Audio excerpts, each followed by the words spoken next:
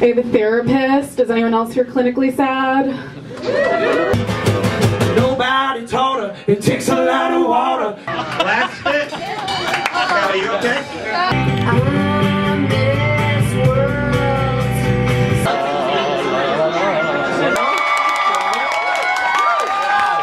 that all young people are talking about. You guys all are all into it. I know religion, right? There's a bunch of nice Catholics in here.